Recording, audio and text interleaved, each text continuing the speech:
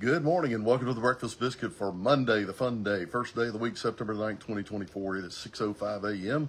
and this morning we find ourselves looking at a breakfast biscuit entitled, You're Part of a Really Big Picture. And that is perhaps the understatement of the year. It comes from Titus chapter 1, verse 1 and following, and off we go. So you may have some interest in the weather this morning. For our roll in, that might be a little slower than usual. The regular old stuff is that today it's 66 degrees on the way to 88 for a high, no appreciable chance of rain today, and northeast winds to 10 miles an hour.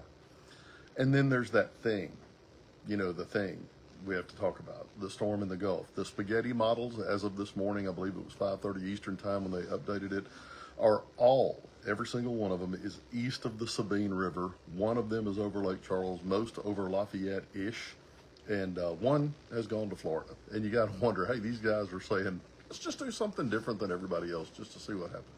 But anyway, from one from Lake Charles, most at Lafayette ish, and then uh, one in Florida. So those are your cones of possibility with winds between 60 and 75 at landfall. So there you go, and your guess is as good as mine. Sunday, this coming Sunday, we continue our series that has been very enlightening, and thank you for the kind words from many of you. Conversations with Jesus. This week, we look at a conversation with Simon Peter.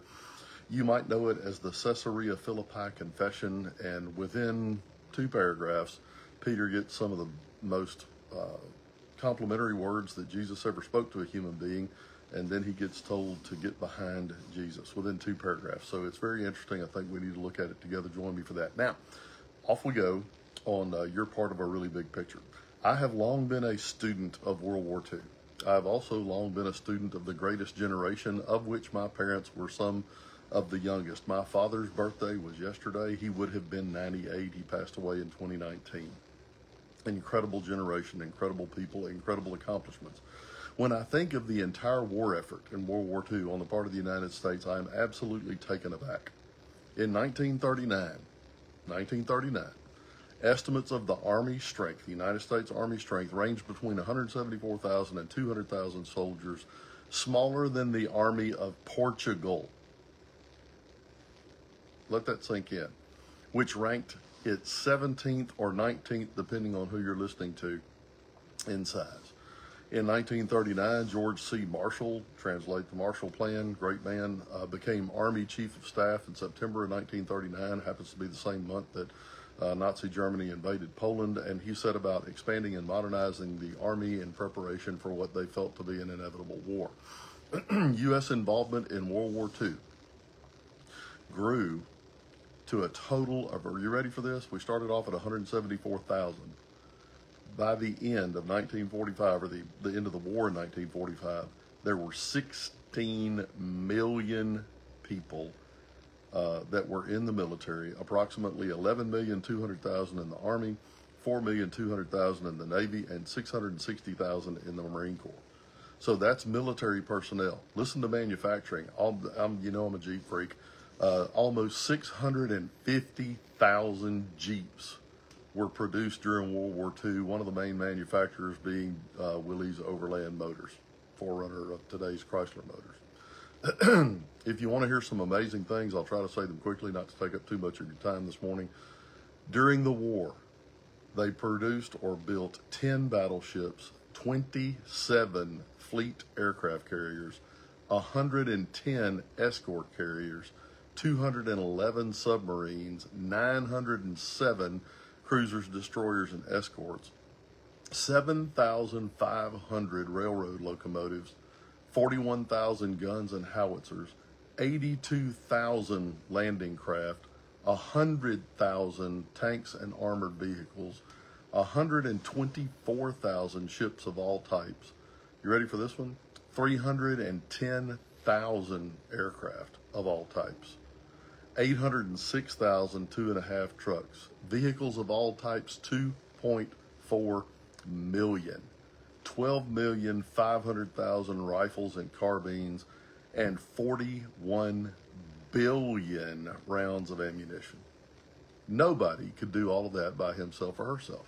It took a massive coordinated effort, and there had to be clear, decisive leadership, and people had to do what they were told by that leadership at every level.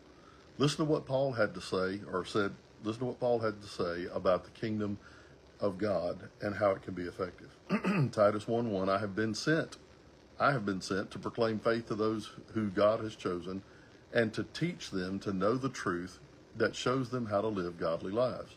This truth gives them confidence that they have eternal life, which God, who does not lie, promised them before the world began. So, what does Paul say? I know exactly what I'm supposed to do. I'm going to do exactly that.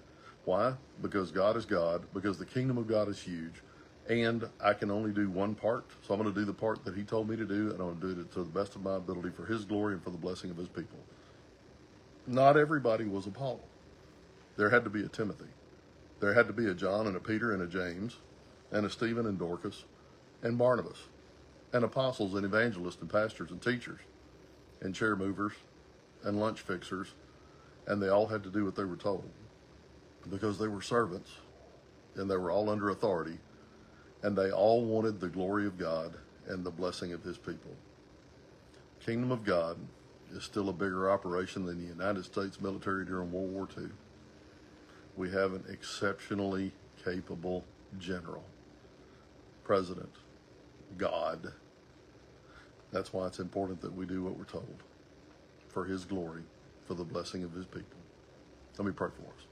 Father, thank you for this morning. Thank you for time together to turn aside and look at your word and to pray together before we begin our day.